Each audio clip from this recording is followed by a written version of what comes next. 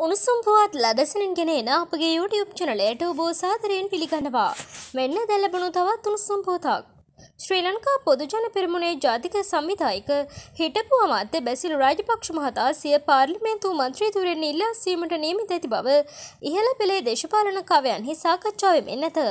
ඔහු පාර්ලිමේන්තුවෙන් ඉල්ලාස්වීමෙන් පසු පුරප්පාඩු වන ශ්‍රී ලංකා පොදුජන පෙරමුණේ ජාතික ලැස්තු මන්ත්‍රීතුරය සඳහා ප්‍රකට ව්‍යාපාරික ධම්මික පෙරේරා මහතා පාර්ලිමේන්තුවට පැමිණීමට නියමිතව ඇතැයිද එම තොරතුරු පැවසිය.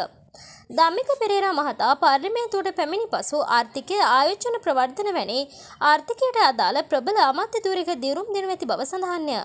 පාර්ලිමේන්තුවට පිවිස ප්‍රබල අමාත්‍යතුරයක් භාරගැනීම සම්බන්ධයෙන් ධම්මික පෙරේරා මහතාද මෑතකදී ඉඟි පල කර තිබුණි. මෙවැනි උණුසුම් පුවත් ලදසිරින් දැන ගැනීමට අපගේ YouTube චැනලය සබස්ක්‍රයිබ් කර බෙල් අයිකනේ ක්‍රියාත්මක කරන්න.